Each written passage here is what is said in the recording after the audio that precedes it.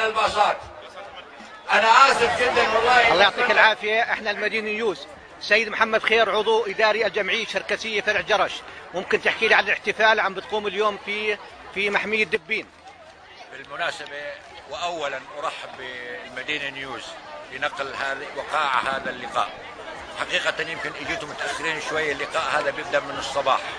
لقاء سنوي ليس له تاريخ محدد إلا نقسم فترة الصيف. لترسيخ وتفعيل أواصر المحبة والصداقة بين كل الفروع ارتأى فرع جرش إقامة هذا اللقاء سنوي. وهذا حقيقة اللقاء الثامن عشر اللي بيتم في هذا الموقع. هذا الواقع لقاء في هناك بعض النشاطات نشاطات الصباح نبدأها بمسابقة بالكرة آه، كرة طائرة.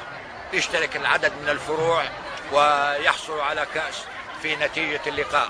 وهناك كمان لقاء بعد الظهر بيتم فيه ألعاب التليماتش وننهي لقائنا ربما الأخوان من المدينة نيوز صوروا بعض اللقطات لهذه الاحتفال الصغير اللي هو الجق الشركسي اللي لابد معظم لقاءاتنا الطيبة والفرحة والسعيدة بننهيها بهذا اللقاء.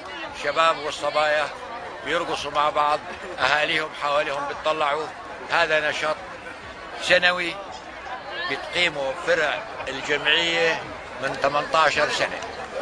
هذا اللقاء مش لفرع جرش لحاله لكل المملكة. لا لا هذا لكل الأفرع في المملكة. هناك حوالي سبعة فروع كل الفروع تقريبا بتلتقي بهذا اللقاء.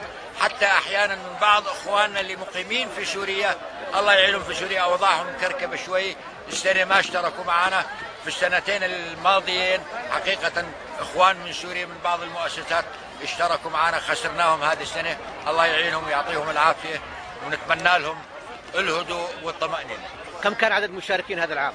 حقيقة المشاركين عدد لو ما بقدر أعطيك العدد بشكل دقيق لكن عندنا مؤشرات من بيع البطاقات اللي تتم للباصات وهذا في هناك حوالي 3000 مشارك بهذا اللقاء. الله يعطيك العافية شكرا. الله يعطيك العافية إحنا المدينة نيوز. السيد محمد هاني رجب أمين سر جمعية فرع وادي السير. ممكن تحكي لي عن الميثاق الشركسي لو سمحت؟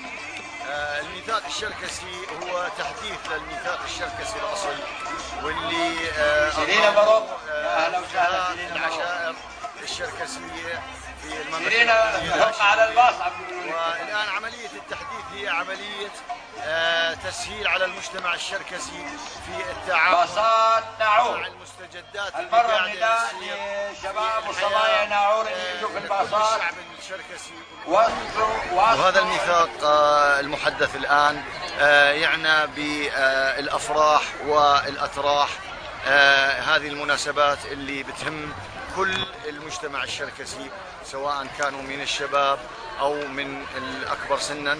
وبيتعلق في موضوع التكلم. عمو فراس بده الميكروفون بس يشد التي تترتب على عملية آه، آه، تغطية نفقات هاي المناسبات. الميثاق سيعالج كل هاي الأمور إن شاء الله تعالى ويشجع جميع الشباب والشابات المقبلين على الزواج ويخفف على المجتمع.